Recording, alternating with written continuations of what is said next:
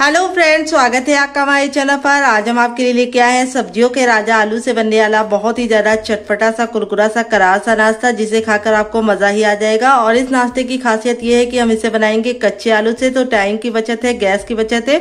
तो चलिए फटाफट बनाना शुरू करते हैं। उससे पहले अगर आपने मेरे चैनल को सब्सक्राइब नहीं किया तो ज़रूर सब्सक्राइब कर लेना। साथ ही नोटिफिकेशन बेल को ऑन करना, ताकि जैसे ही वीडियो अपलोड करूँ, आपको नोटिफिकेशन मिल पाए सबसे पहले, और आप हमारी आसान रेसिपी का फ़ायदा उठा पाए सबसे पहले। तो यहाँ पे मैंने तीन मीडियम साइज़ के आलू लिए हैं, जो कच्चे आलू हैं, जिसको मैंने छील लिया है। अगर आपका आलू बहुत बड़ा है तो आप सिर्फ़ दो लेना। वेट नहीं, ये हमारा सौ ग्राम है, और संख्या में आपको बता ही दिया है, तीन आलू है। तो चलिए फटाफट काम शुरू करते हैं। तो यहाँ पे देखिए, एक बड़े साइज़ के बर्तन में मैंने तीन से चार गिलास पानी लिया है। अब इसके अंदर हम डालेंगे एक टीस्पून तक नमक। और इसको हम अच्छे से मिक्स कर देंगे और इसके अंदर हम अपने आलू को डुबाकर पाँच मिनट का टाइम देंगे। ऐसा करने से हमारा आलू अच्छे से टाइट हो जाएगा। जब आपका आलू टाइट हो जाएगा, तब आप इसका जब नाश्ता बनाएँगे तो आपको बनाने में कोई दिक्कत नहीं होगी और नाश्ता काफ़ी कुरकुरा और क्रिस्पी होगा। तो चलिए इसको कवर करके हम पाँच मिनट का टाइम दे देते हैं ताकि आलू हमारा अच्छे से टाइट हो जाए। तब तक हम दूसरा काम करते हैं, इसे साइड में रख देते हैं। तो फ्रेंड, यहाँ पे मैंने छोटा वाला मिक्सी का जार लिया है। अब इसके अंदर हम डालेंगे अदरक, जो हमने इस तरह से मोटा मोटा कट कर लिया है। डेढ़ इंच की अदरक थी। और अगर आप अदरक नहीं खाते तो आप इसके बिना भी बना सकते। हैं अब इसमें हम डालेंगे लहसुन की कलिया पाँच से छह। अगर आप लहसुन भी नहीं खाते तो लहसुन को भी हटा सकते हैं। लेकिन अदरक और लहसुन का टेस्ट बहुत ही अच्छा आता है। अगर आप खाते हैं तो ज़रूर डालना। अब स्पाइसी के लिए हम इसमें डाल रहे हैं दो ग्रीन चिली, जिसको हम इस तरह से तोड़कर डालेंगे। अगर आप लोग बहुत ज़्यादा स्पाइसी नहीं खाते तो आप सिर्फ़ एक ही डालना, डियर। अब इसमें हम डालेंगे ढेर सारा हरा धनिया, जिसको हम डंठल के साथ डालेंगे। अगर आपके पास हरा धनिया ना हो तो आप इसकी जगह पे पुदीने का भी इस्तेमाल कर सकते हैं डियर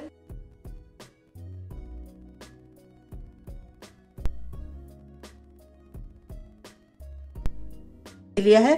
अब सारी चीज़ों को हम दरदरा पीस लेंगे। एक से दो बार मिक्सी को चला चला कर रोक कर पीसेंगे, ताकि ये दरदरा पीसे। तो चलिए पीस के लेके आते हैं, फिर आपको दिखाते हैं डियर तो फ्रेंड मैंने इसको पीस लिया है। चलिए आपको हम दिखा देते हैं। ये देखिए, इस तरह से मैंने इसको दरदरा रखा है। आपको भी इस तरह से दरदरा रखना है इसको। ये देखिए, करीब से। दिख रहा है आप लोगों? तो अब चलिए हम आगे का काम करते हैं। आलू को चेक कर लेते हैं। पाँच मिनट का टाइम हो चुका है उसे रेस्ट करते हुए। तो आलू देखिए, हमारा बिल्कुल अच्छे से हो गया है। अब हम क्या करेंगे? तो फ्रेंड यहाँ पे देखिए मैंने ग्रेटर लिया है। ग्रेटर में तीन चार होते हैं तो आपको कौन सा इस्तेमाल करना है, आइए आपको हम बताते हैं। तो यहाँ पे जो पतला वाला होता है, ये नहीं लेना है। ये जो सबसे मोटा वाला होता है, इससे हम ग्रेट करेंगे। इससे हमारे जो आलू के लच्छे हैं, वो मोटे मोटे निकलेंगे और हमें मोटे लच्छे चाहिए, पतले नहीं। तो इस तरह से हम लंबा लंबा इसको ग्रेट कर लेंगे, ताकि हमें लंबे लंबे लच्छे मिले। ये देखिए इस तरह से। तो चलिए फटाफट ग्रेट कर लेते हैं, फिर आपसे मिलते तो फ्रेंड देखिए, आलू को मैंने इस तरह से ग्रेट कर लिया है। कितने बढ़िया हमें लच्छे मिल गए हैं। अब इसको हम तुरंत नमक वाले पानी में डाल देंगे। आप चाहे तो नॉर्मल वाटर में भी डाल सकते हैं। और इसको हम बहुत ही अच्छे से मलमल के वॉश करेंगे। तो जैसे हम चावल को धुलते हैं, उसी तरीके से हमको भी इसे भी धुलना है इस तरह से। दोनों हाथों का इस्तेमाल करते हुए अच्छे से इसको मलमल के धुलिए, ताकि जितना भी आलू का स्टार्च है वो निकल जाए। तो ये जो पीला पीला पानी दिख रहा है, ये बिल्कुल व्हाइट व्हाइट हो जाए, तब तक आपको इसे वॉश करना है। और वॉश करने के बाद आप इस तरह से इसको प्रेशर देते हुए सारा पानी रिमूव करके बर्तन में ट्रांसफ़र करते जाइए। तो फ्रेंड ये पानी आप फेंकना मत, आप इसको पौधों में डालेंगे तो पौधों की ग्रोथ काफ़ी अच्छी होगी। और आप चाहे तो इसको बोतल में भर के रख सकते हैं और आप अपने डार्क सर्कल पे लगा सकते हैं, उससे आपके डार्क सर्कल दो से तीन दिन में रिमूव हो जाएँगे। अगर आप दोनों टाइम लगाएँगे, सुबह और शाम दोनों। तो इस पानी को वेस्ट मत करना। तो तीन से चार पानी अच्छे से वॉश करने के बाद फिर लेके आते हैं। तो फ्रेंड तीन से चार पानी वॉश करने के बाद आप देख सकते हैं, लच्छे का कलर कितना सफ़ेद हो चुका है और कितने प्यारे से हमारे लच्छे लग रहे हैं। अब चलते हैं बनाने की प्रोसेस की तरफ़। तो फ्रेंड आ गए गैस की तरफ़। एक पैन लिया है। अब इसमें हम डालेंगे oil lump sum half teaspoon तक ज़्यादा ऑयल नहीं डालना है। तो आप घी और बटर का भी इस्तेमाल कर सकते हैं। ये देखिए हाफ़ टी स्पून तक मैंने ऑयल डाल दिया है। ऑयल जब हमारा हल्का सा गर्म हो जाएगा, तब इसमें हम तीन चीज़ें डालेंगे, जिसको मैंने एक साथ मिला लिया है। इसमें मैंने लिया है थोड़ी सी राई थोड़ा सा सौफ थोड़ा सा अजवाइन। तीनों को मिलाकर एक बड़ा चम्मच बन चुका है, और इसको हम डालेंगे तो बहुत ही अच्छी खुशबू और टेस्ट दोनों आएगा। तो ये बहुत जल्दी चटकने लगता है। तो आपको इसको सिर्फ़ पाँच से छह सेकंड ही पकाना है, और हमारा जो ग्रीन वाला मसाला था, जो हमने रेडी करके रखा था, उसको हम यहाँ पे डाल देंगे। सारी चीज़ों को हम अच्छे से भूनेंगे ताकि मसालों का कच्चापन दूर हो जाए। और अदरक और लहसुन की स्मेल निकल जाए। इसको अच्छे से भूनना है आपको। तो फ्रेंड 10 से 15 सेकंड मैंने सारी चीज़ों को भून लिया। अब इसमें हम डालेंगे एक बड़ी गिलास पानी। अगर आप छोटी गिलास डालेंगे तो आपको दो गिलास लग जाएगा और इसको हम अच्छे से मिक्स करते हुए एक उबाल आने का वेट करेंगे। तो फ्रेंड, उबाल आना शुरू हो गया। अब इसमें हम थोड़ी सी कुटी हुई लाल मिर्च डालेंगे, हाफ़ टी स्पून तक। टेस्ट खाते उतना डालना। डालेंगे गरम मसाला जो मेरा होम आपकी रेसिपी चाहिए तो कमेंट बॉक्स में कमेंट कर को हम अच्छे से मिक्स कर लेंगे और एक अच्छे से। तो फ्रेंड देखिए, एक बाल वापस से आ चुका है और देखिए, सारे फ्लेवर आपस में बिल्कुल अच्छे से मिल गए अब हम इसमें डालेंगे एक चम्मच चाट मसाला ताकि ये चटपटा बने और इसको हमें लास्ट में डालना है। और अब इसके बाद हम इसमें डालेंगे अपने आलू के लच्छे, जो हमने ग्रेड करके रखे हैं। और इन लच्छों को हम सिर्फ़ एक मिनट तक पकाएँगे घड़ी देखकर। हमें इसे ओवर कुक नहीं करना है, नहीं तो ये गल जाएँगे और हमें इसको गलाना नहीं है, सिर्फ़ पचास परसेंट तक पकाना है। इसलिए हम सिर्फ़ एक मिनट तक इसको हाई फ्लेम पर पकाएँगे। तो फ्रेंड देखिए, एक मिनट हो चुका है। ये बिल्कुल अच्छे से हमारे 50 परसेंट तक लच्छे कुक हो चुके हैं और देखिए कितने खिले खिले से हैं। अब इसमें हम क्या डालेंगे? हम इसमें डालेंगे सूजी। तो यहाँ पे मैं बारीक वाली सूजी ले रही हूँ। अगर आपके पास मोटी वाली सूजी हो तो आप इसको एक बार मिक्सी जार में डालकर ग्राइंड कर लेना। यहाँ पे हमने वेट ने 50 ग्राम ली है। नाप में एक छोटी कटोरी है, जिसको हम एक साथ नहीं डालेंगे। थोड़ा थोड़ा डालकर मिक्स करते जाएँगे। इस तरीके से इससे आपकी सूजी को पकने का टाइम भी मिलेगा और बिल्कुल अच्छे से ये कुक होगी। अगर आपके पास सूजी ना हो तो आप इसकी जगह पे चावल के आटे का भी इस्तेमाल कर सकते हैं। सूजी को कई जगह रवा भी बोला जाता है। अगर इसका कोई नया नाम हो तो कमेंट बॉक्स में ज़रूर बताना और साथ में जगह का नाम लिखना मत भूलना। तो देखिए, जिस तरीके से मैं बना रही हूँ, उसी तरीके से आपको भी बनाना है। थोड़ा थोड़ा सूजी डालकर मिक्स करना है। एक साथ सूजी डालेंगे तो गुटले भी पड़ जाएँगी और अच्छा टेक्सचर भी नहीं आएगा। तो ये देखिए, मैंने सारी सूजी ऐड कर दी है। और अगर नाप में बताए तो एक छोटी कटोरी है, बड़ी कटोरी मत लेना।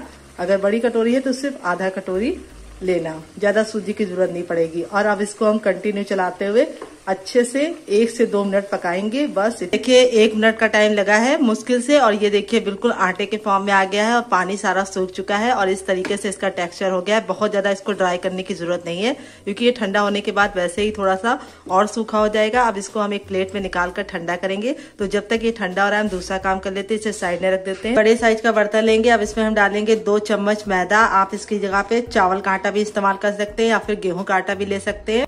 थोड़ा सा नमक डालेंगे, दो चुटकी। हाफ़ टी स्पून तक हम इसमें ऑयल डालेंगे। बस काफ़ी है, जिससे बहुत ही अच्छा कुरकुरा और क्रिस्पी बनेगा। सिर्फ़ हाफ़ टी स्पून तक काफ़ी है। चौथाई चम्मच चाट मसाला।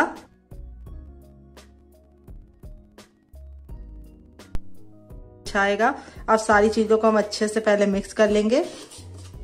और अब इसमें हम थोड़ा थोड़ा पानी डाल के इसका एक पतला सा घोल बनाएँगे, जो बहुत ज़्यादा पतला नहीं होना चाहिए, बहुत ज़्यादा गाढ़ा भी नहीं होना चाहिए।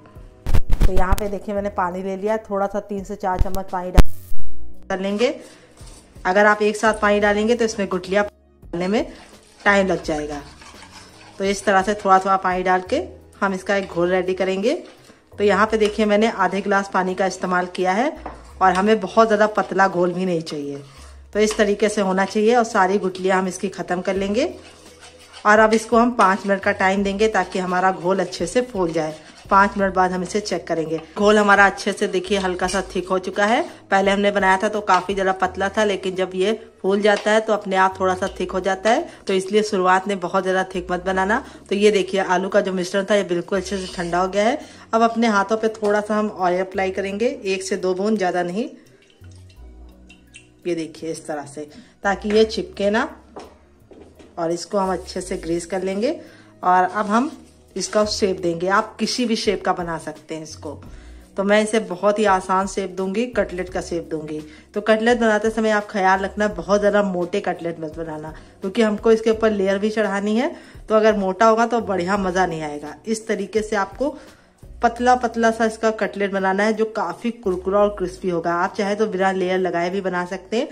ऐसे भी बन जाएगा, लेकिन थोड़ा सा लुक देने के लिए मैं लगा रही हूँ। आपकी अपनी मर्ज़ी है, अगर आप चाहें तो सिंपल भी बना सकते हैं। ये देखिए, इस तरह से हम इसकी साइडों को हल्का हल्का सा प्रेस कर देंगे। क्योंकि सूजी है तो थोड़ा सा बिखराव आ ही जाएगा इसके अंदर। अब इस तरीके से हम सारे कटले रेडी कर लेते हैं, फिर आपसे मिलते हैं। तो फ्रेंड, देखिए, इस तरह से मैंने सारे बना लिए हैं। आप इस तरह से बना के इसे फ्रिज में लगा सकते हैं हवा बंद डिब्बे में भर के। और जब आपके मेहमान है या मन करे, आप निकाल के बना सकते हैं। आप इसे ऐसे भी बना सकते हैं, मैं इस पर कोटिंग चढ़ाऊँगी। तो चलिए, फटाफट बनाना शुरू करते हैं। तो यहाँ पे मैंने बड़ा वाला मिक्सी का जार लिया है। अब इसमें हम डालेंगे ब्रेड। तो यहाँ पे देखिए मैं व्हाइट वाली ब्रेड का इस्तेमाल कर रही हूँ। आप चाहे तो ब्राउन वाली ब्रेड का भी इस्तेमाल कर सकते हैं। इसको हम ब्रेड गम बनाएँगे। तो इस तरह से मोटा मोटा कट कर लेंगे। कट भी कर सकते हैं, तोड़ कर भी डाल सकते हैं। तो मैं इस तरह से तोड़ कर डाल रही हूँ। सिर्फ़ तीन स्लाइस डालेंगे, काफ़ी है। अगर आपके पास बना हुआ ब्रेड गम हो तो आप उसका भी इस्तेमाल कर सकते हैं। लेकिन वो बहुत दिन का पुराना ना हो। इस बात का ख्याल रखना। ताज़ा बनाएँगे तो ज़्यादा अच्छा रिज़ल्ट आएगा। तो चलिए फटाफट बनाने के बाद आपसे मिलते हैं।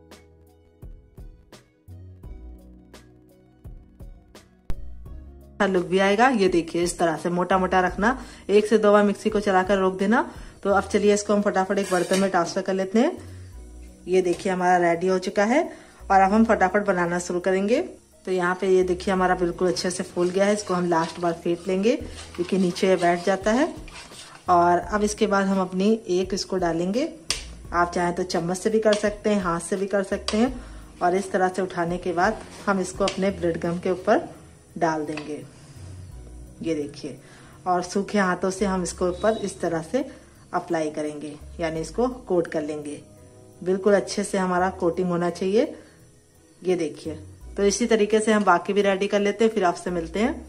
तो फ्रेंड देखिए, इस तरह से मैंने बना लिया। है चलते बनाने की प्रोसेस की तरफ़। तो तो फ्रेंड आगे है गैस की तरफ़। देखिए, हमने पैन में तेल रखा है। तेल जब हमारा अच्छे से गर्म हो जाएगा, तब हम इसमें डालेंगे। तो तेल को हाई फ्लेम पर गर्म करेंगे। तो ये देखिए, तेल हमारा अच्छे से गर्म हो चुका है। अब हम इसके अंदर डाल देंगे। तो यहाँ पे जब तक आपका तेल अच्छे से गर्म ना हो, आपको नहीं डालना है। और एक बार जब तेल गर्म हो जाएगा तो आप इस तरह से फटाफट डालते जाइए। तो एक बार में उतना डालना जितना कि पलटने में दिक्कत ना हो। तो ये देखिए, मैंने डाल दिया। अब इसको हम धीमी धीमी आँच पर दो मिनट तक पकने देंगे, फिर उसके बाद टर्न करेंगे। उससे पहले आपको इसको टच नहीं करना है। तो फ्रेंड दो मिनट हो चुका है, देख लीजिए। अब हम इसको टर्न करेंगे, आपको दिखाएँगे कितना बढ़िया कलर आ गया, ये देखिए। कितना बेहतरीन तरीके से हमारा कुक हो गया है। तो अब मैं इस चिमटे की सहायता से इसको टर्न कर दे रही हूँ, आप चाहें तो चम्मच से भी टर्न कर सकते हैं। अब यहाँ पे हम इसको दूसरे साइड से भी दो मिनट पकाएँगे और फिर हम इसको निकाल लेंगे। तो फ्रेंड दो मिनट हो चुके हैं, ये देखिए, दूसरे साइड से भी हमारा बिल्कुल अच्छे से डन हो गया है। अब इसको हम इस तरह से निकाल लेंगे ताकि जो एक्स्ट्रा तेल है वो वापस उसी में चला जाए और देखिए कितना प्यारा कलर आया है। और इसी तरीके से हम बाकी भी बना लेंगे, फिर आपसे मिलते हैं, नहीं तो वीडियो काफ़ी बड़ी हो जाएगी। ये देखिए, इस तरह से रखना ज़रूर, ताकि जो एक्स्ट्रा तेल है वो वापस चला जाए। तो फ्रेंड बनकर रेडी हो चुका है हमारा बहुत ही ज़्यादा चटपटा सा, कुरकुरा सा करार सा नाश्ता। देख लीजिए इसका फाइनल रिज़ल्ट कितना ज़्यादा खूबसूरत लग रहा है, जितना ज़्यादा देखने में खूबसूरत लग रहा है, खाने में से ज़्यादा टेस्टी है हेल्दी है, और काफ़ी ज़्यादा क्रिस्पी है। चलिए आपको हम दिखाते हैं कितना ज़्यादा क्रिस्पी बना है। ये देखिए फाइनल रिज़ल्ट इसका आपको करीब से दिखा देते हैं। और अब हम आपको दिखाएँगे कितना क्रिस्पी है। ये देखिए बहुत ही ज़्यादा क्रिस्पी है और अंदर से काफ़ी ज़्यादा सॉफ्ट है। बच्चे से लेके बुज़ुर्ग तक इसे खा सकते हैं और लच्छे हमारे बिल्कुल अच्छे से कुक हो गए हैं। और इस वाली चटनी के साथ जब आप इसे खाएँगे तो आपको मज़ा आ जाएगा। चटनी की रेसिपी कैसी लगी आपको कमेंट बॉक्स में ज़रूर बताना। अगर आप चटनी के साथ नहीं खाना चाहते तो आप इसे केचप के साथ, चाय के साथ दिखा सकते हैं। लेकिन चटनी के साथ इसका कॉम्बिनेशन बहुत ज़्यादा टेस्टी लगता है। आप एक बार इस रेसिपी को बनाकर देखना। चटनी के साथ आपको मज़ा आ जाएगा। कैसी लगी आपको रेसिपी कमेंट बॉक्स में ज़रूर बताना। रेसिपी पसंद आए तो वीडियो को लाइक कर देना शेयर कर देना। अगर आप हमारे चैनल पर पहली बार आए हैं तो हमारे चैनल को ज़रूर सब्सक्राइब करना। साथ ही फैमिली एंड फ्रेंड के साथ दिल खोल के रेसिपी को शेयर करना। मिलते हैं बहुत ही जल्दी नई रेसिपी के साथ। तब तक इस रेसिपी को बनाइए, खाइए love you all bye and take care